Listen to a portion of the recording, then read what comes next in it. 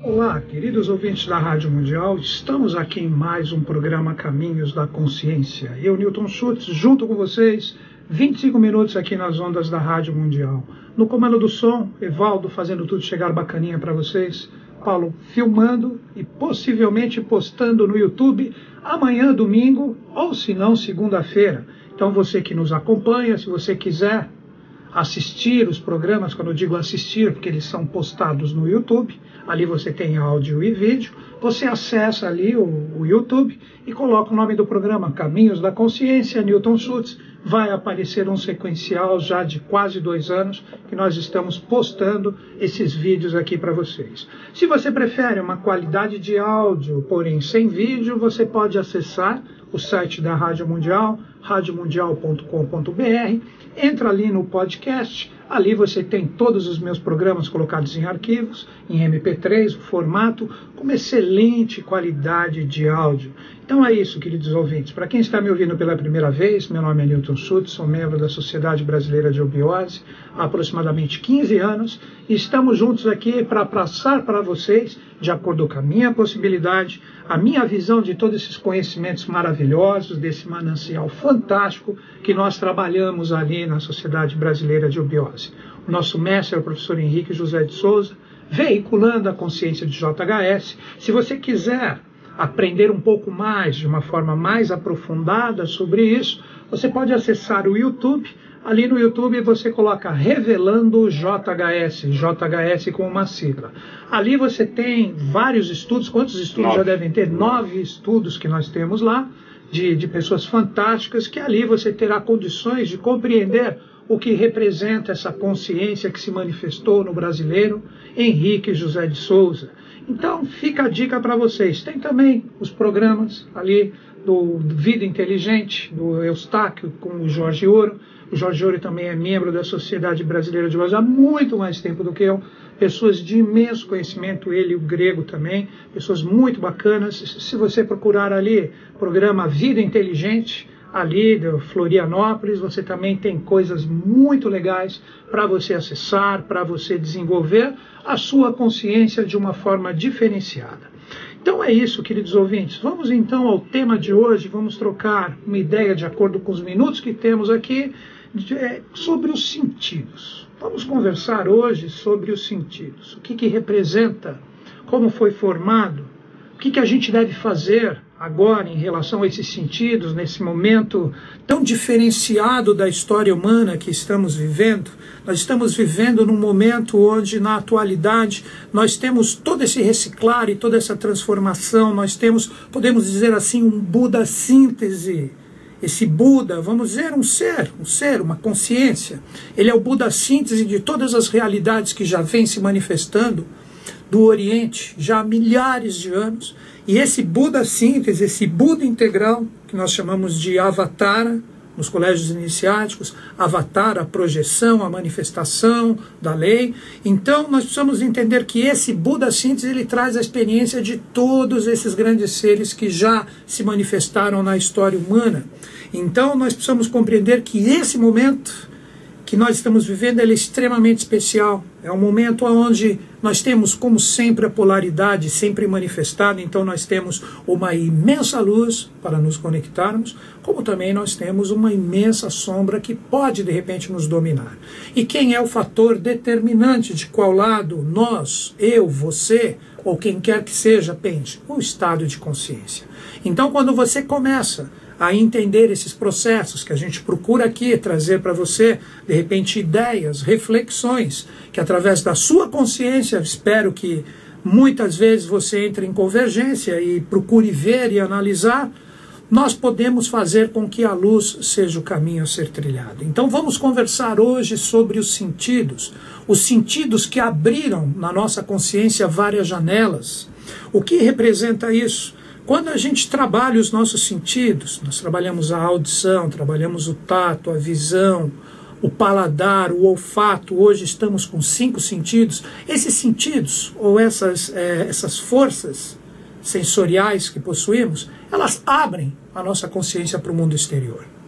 Aí você me pergunta, por que isso, Newton Schultz?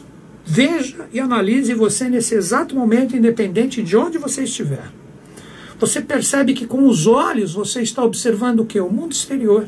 Você não está vendo dentro, você está vendo fora. Você está observando o que está acontecendo fora de você. Você pode estar no computador agora, você pode estar no seu carro observando o trânsito, você está na sua casa com seus afazeres. Então, o sentido da visão, ele é utilizado para você observar o mundo exterior. Aí eu pergunto, e observar para dentro? E se autoconhecer? E olhar para dentro de você? Como é que você pode fazer isso? É sobre isso que nós vamos conversar hoje. Pega a audição também. A audição, veja se ela é um fator interno ou externo. Você utiliza ela totalmente para compreender o, o que acontece através do mundo do som, essas frequências sonoras, na sua realidade exterior.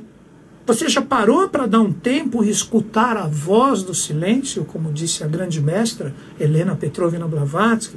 Existe até um livro que o livro se chama Voz do Silêncio. Então, todos os sentidos que nós possuímos, na atualidade, eles representam janelas que nós abrimos. E essas janelas que nós abrimos fazemos com que nós fiquemos condicionados às realidades do mundo exterior. Aí que nós somos bombardeados pelos meios de comunicação, pelo meio que vivemos, pelas pessoas que nos cercam. Por quê? Porque a gente trabalha normalmente através de um retorno do que a gente observa com os nossos sentidos. Mas quando a gente começa a despertar, que a gente começa a vencer essa matrix, como teve aquele filme fantástico do Keanu Reeves, teve acho que três episódios, né, Paulo Matrix, não lembro exatamente, mas foi muito legal no sentido de você aprender a ver todas as potencialidades, acreditar o que está em você. Então, quando a gente aprende a fechar essas janelas, para olhar para dentro de nós, nós começamos a compreender o nosso verdadeiro eu. É aí que nós começamos a entender a diferença entre espírito, alma e corpo. Corpo é essa realidade que você tem onde suas janelas estão abertas, onde você está trocando consciência com, com o mundo de uma forma direta constantemente. Então, através do seu corpo físico, que você trabalha com os seus sentidos que você tateia, que você observa tudo que te cerca. Então, o que, que nós temos que fazer? Quando a gente compreende que esse corpo carrega dentro de si uma alma, uma realidade espiritual, aonde reside o seu verdadeiro eu, a verdadeira realidade crítica que tem todas as potencialidades de um super-homem, de uma super-mulher, de alguém que está pronto para despertar, aí sim você começa a entender a realidade dessas três consciências que nos compõem. Então, esses laços que o espírito, a alma e o corpo fazem constituem o que nós somos hoje. Os nossos sentidos representam canais de consciência que trabalham esse entrelaçar dessas três consciências. Então, quando nós trabalhamos isso, a gente começa a entender verdadeiramente quem somos. Porque enquanto as janelas estão abertas, através dos nossos sentidos, só para a realidade do mundo exterior, você esqueceu quem você é. Você esqueceu tudo que você tem dentro de você. Você é uma pessoa que é comandada. Você é uma pessoa que simplesmente observa o mundo exterior para que a sua realidade interior corresponda com tudo que você vê. Então você observa a mídia, os meios de comunicação, te colocar necessidades de consumo, te colocar determinadas prioridades na sua vida que muitas vezes nem fazem parte da sua verdadeira evolução, que é o que mais acontece na atualidade, porque as suas janelas estão escancaradas para o mundo de fora e você esqueceu aonde você está pisando. Que esse pisando é onde você realmente está. É o seu condicionamento da dimensão ao qual você pertence. Então, quando a gente começa a fechar essas janelas, a gente começa a entender o que são sentidos, a gente começa a entender o que somos como seres humanos, aí sim a história começa a mudar. Porque aí a reverberação do que você vai observar com os seus sentidos conectados com sua realidade interior será muito diferente de quando você simplesmente está com as janelas abertas. Seria, num exemplo bem direto, como se você estivesse num carro e ali você tem a janela, a transparência dela, e você observa para fora na estrada e você não sabe nem para onde você está indo. Você não sabe por onde você está passando. Então você vai vendo tudo passar. Você vê árvores, você vê paisagens, você vê pessoas, você vê situações, mas nesta realidade você não sabe onde você está, quem são aquelas pessoas. Onde que é aquele local que você está transitando nesse momento? O que representa isso? Falta de consciência. Agora veja aquela pessoa que aprendeu o segredo da janela. Ela se fechou para essas janelas, ela começou a observar e trabalhar os seus sentidos de uma forma interna, começou a trabalhar a sua audição, a sua visão, o seu próprio tato, já vou falar sobre todos esses sentidos dessa forma. Você começou a trabalhar a sua, o seu próprio paladar e o seu olfato voltado para dentro, compreendendo os segredos de que tudo que você precisa, de todos os seus complementos, que na verdade eles estão dentro de você, que todas as respostas, de todas as dúvidas que faz com que você corra aí fora atrás de um monte de autoajuda, na verdade estão dentro de vocês, que os mestres que você procura, que os gurus que vocês procuram estão dentro de você, aí sim. Aí quando você estiver na frente desse mesmo carro, e você olhar para a paisagem da janela, você sabe onde você está. Você sabe a velocidade que você está.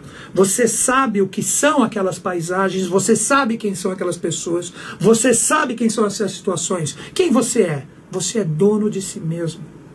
Você é uma pessoa que sabe o seu propósito de vida.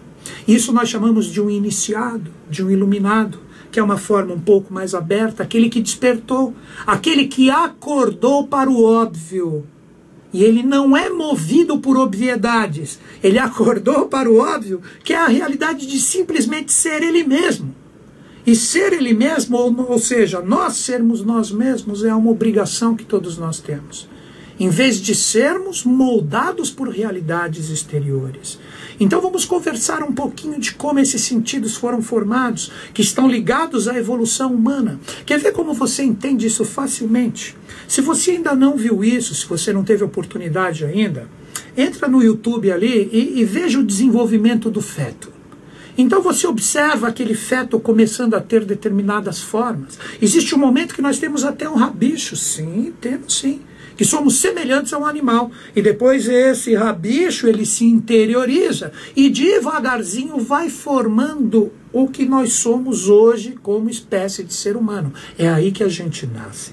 Então, na atualidade, nós passamos por cinco estágios quando nós estamos adquirindo forma e os sentidos eles são colocados ali naquele determinado momento. Então, quando a gente fala da evolução humana, agora que você vai entender, o sete sempre representa o padrão evolutivo, por isso que nós temos sete cores, nós temos sete sons, que são as bases de todos os processos da criação. Então, quando a gente começa a entender isso, a gente compreende que o ser humano também, nesse quarto momento, da evolução, nesse quarto sistema, ou nesse quarto dia da criação, sendo que o primeiro foi o mineral, o segundo o vegetal, o terceiro o animal e hoje, o quarto dia da criação, o ser humano, e todos os outros reinos continuam aqui fazendo ainda o seu papel. Então nós teremos no final desse quarto dia da criação, sete tipos de seres humanos. Então, sete estados de consciência serão formados. Então, como funciona isso? Agora você entende os sentidos. Quando nós estamos no início da nossa formação ali, né, que foi um primeiro tipo de ser humano que foi conhecido nos anais da teosofia, ou hoje na eubiose, pode dizer a eubiose hoje, ela, ela deu um upgrade, uma atualizada em todo esse processo, trazendo umas, as tônicas do novo ciclo. Então ali, o que nós chamamos de etapa evolutiva adâmica, o ser humano desenvolveu o que? A audição. Então o ser humano ouvia os anjos, ele ouvia nessa etapa evolutiva os anjos que estavam ligados à sua evolução, era o único sentido que existia. No segundo tipo de ser humano, quando termina essa primeira etapa, que nós chamamos de hiperbóreo, foi desenvolvido o tato. Foi o segundo sentido que o ser humano desenvolveu. Então, aquele primeiro tipo de ser humano adâmico, que era uma espécie de sombra, uma projeção dos próprios pensamentos dos anjos criadores, por isso que eles não tinham tato, você poderia dizer que eles passavam por qualquer realidade, não existia esse sentido de você ter um corpo e você tateá-lo. Nesse segundo momento, você desenvolve isso. Então, começa uma compleição que forma o corpo etérico do ser humano. Então ele não é só uma sombra e uma projeção, ele já é um aglutinado mais físico ou mais denso dessa realidade. Aí na terceira etapa evolutiva, essa já bem mais conhecida por todo mundo que estuda um pouquinho esse lado oculto ou esse lado esotérico com S maiúsculo, né? foi o, o ser humano lemuriano da época da Lemúria, onde nós éramos gigantes, cíclopes, tínhamos um olho só. O que, que nós desenvolvemos? A visão. Então, o terceiro sentido que o ser humano desenvolveu foi a visão. E quando esse terceiro olho ou o olho espiritual, que ele se interioriza, formando esses olhos duplos que nós possuímos, o que acontece? Essa visão espiritual que o ser humano enxergava as hierarquias que os dirigiam, ou os anjos, eles se interiorizam e hoje é a famosa glândula pineal que tanto falamos. É o mistério da pineal junto com a pituitária, também ligado à glândula timo do coração.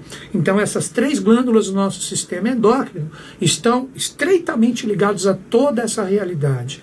O quarto tipo de ser humano, tanto falado, o Atlante, o Atlante desenvolveu o que? O paladar.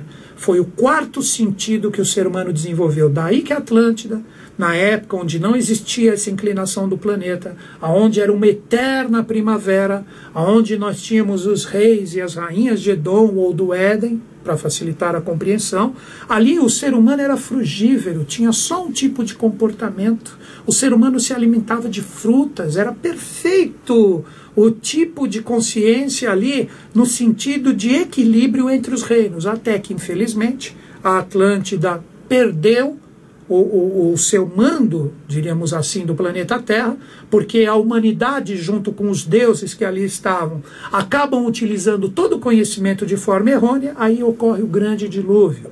E ocorrendo o grande dilúvio, também junto de grandes catástrofes, o planeta Terra se inclina e nós passamos a ter as quatro estações e também os temperamentos humanos, tanto falados por Hipócrates, falando dos humores ligados aos elementos. Então nós temos hoje, que aí somos nós, o quinto tipo de ser humano ou ariano. Nós trazemos o que? O sentido do olfato, que representa o sentido mais atual do ser humano, mais novo, com quatro tipos de seres humanos. E esses quatro tipos de seres humanos são seres humanos mais ar, mais fogo, mais água e mais terra. É só você ver que você percebe claramente esse tipo de comportamento. Existem pessoas mais comunicativas, mais alegres, existem pessoas que são mais agitadas, pessoas que são mais calmas, mais relaxadas, pessoas que necessitam de bastante base, estrutura. São os comportamentos humanos que originam, que originam em nós esse tipo de consciência que são os nossos cinco sentidos. Então, voltando para o início do programa, quando nós estamos no útero, ali, quando nós estávamos, né? Quando nós estávamos, apesar que todos nós estamos num grande útero cósmico da criação, envolvidos por essa alma maravilhosa da Mãe Universal.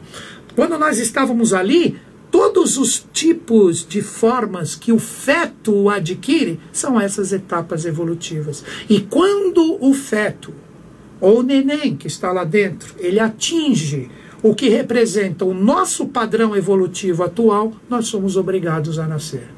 Então, daí que nós começamos a compreender todos esses mistérios que representam esse lado oculto do nascimento. Então, se processam todos os tipos de seres humanos que já passaram como experiência, que estão vibrando através da formação daquela criança que está dentro do útero, formando os cinco sentidos, que é a consciência do ser humano atual, ele nasce com cinco sentidos e com sentidos latentes e potenciais que ele pode conquistar.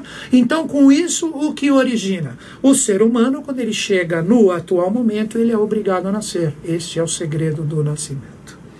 Agora, o que, que nós precisamos compreender? Quando nós falamos de, dos sentidos, como eu estava falando no início do programa, esses sentidos eles nos dão a forma de nós trocarmos energia, consciência com o mundo exterior, fazendo com que nós esqueçamos o que representa a nossa realidade interior.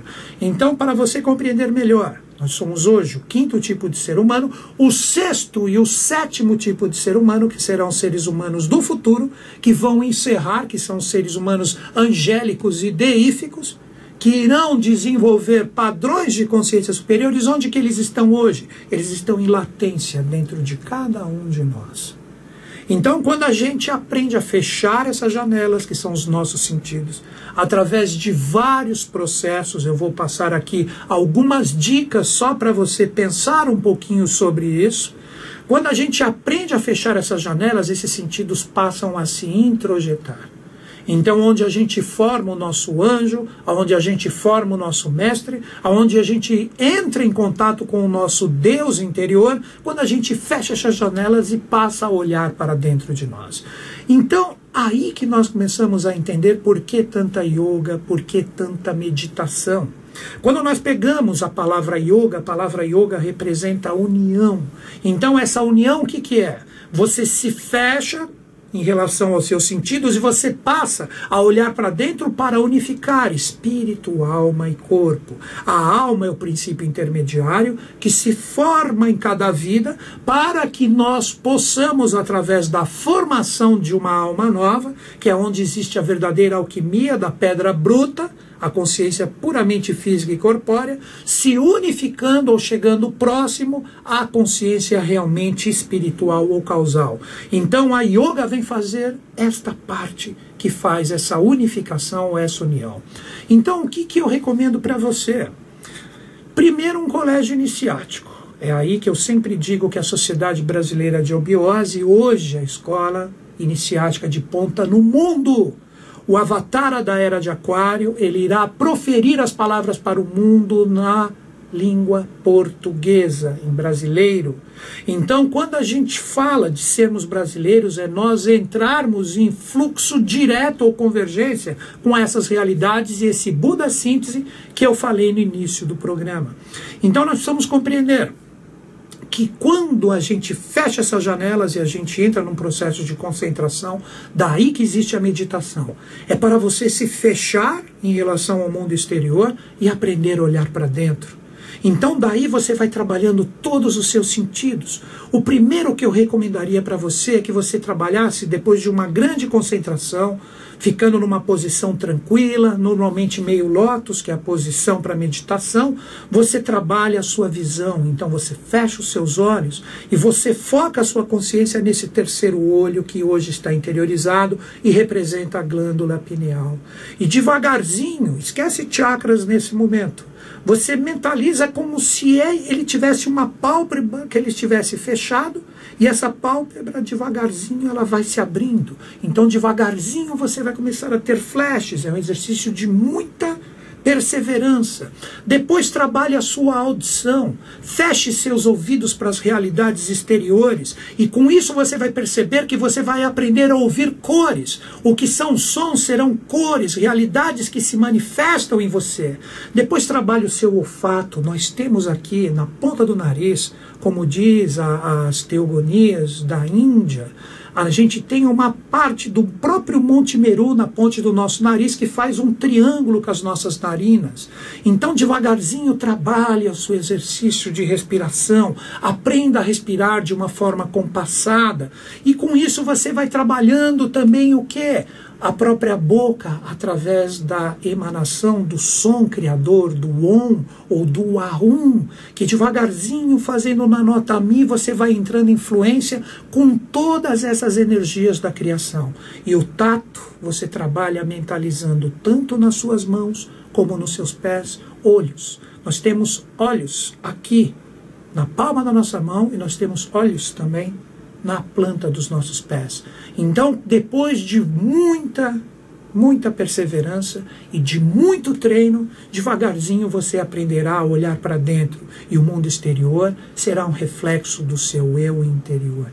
Queridos ouvintes, se você entrou em convergência, se algo bateu como verdade para você, eu tenho um convite bacana para te fazer. A Sociedade Brasileira de Obiose existe no mundo. Você pode fazer por correspondência em qualquer parte do planeta. Passe um e-mail para mim, caminhos2005 terra.com br e eu encaminho para você o departamento mais próximo de obiose ou mesmo se você estiver no exterior, você pode fazer todo esse estudo por correspondência. Repetindo, caminhos2005 terra.com www.budasaquário.com.br. Queridos ouvintes, que os Budas da Era de Aquário estejam em sintonia, aí estão, em nós, no Brasil e no mundo. Até o próximo programa.